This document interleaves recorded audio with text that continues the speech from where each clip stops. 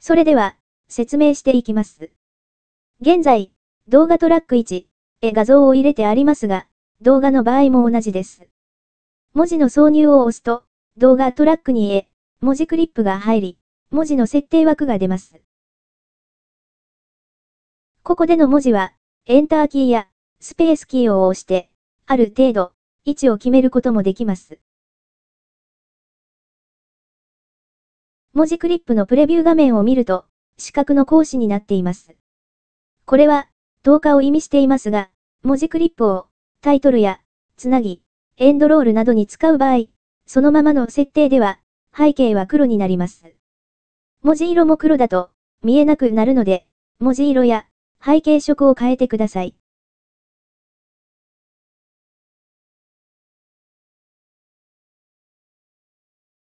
文字の設定を変えるには、文字クリップを押して、プレビュー画面下の文字部分を押します。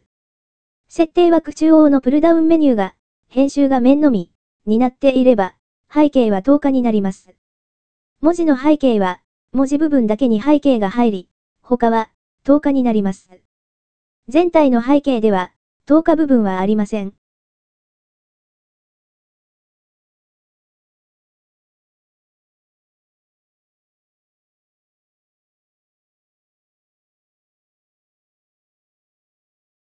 次に、フォントの種類、色、大きさ、太字、斜め文字、下線。この枠内を操作するには、変更する文字を必ずなぞって指定しておいてください。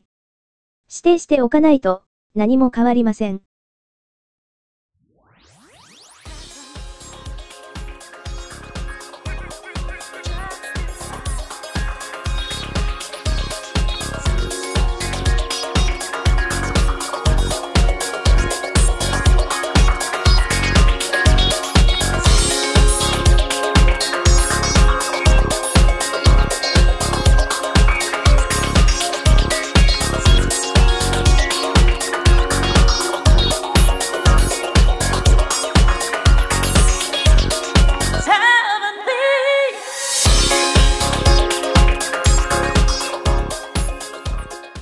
次に、枠線というのは、文字の縁取りになります。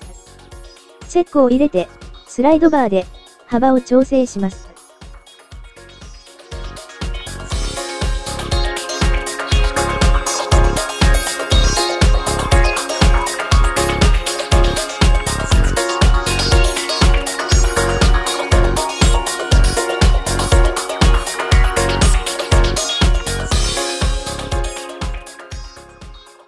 影の設定は、チェックを入れるだけです。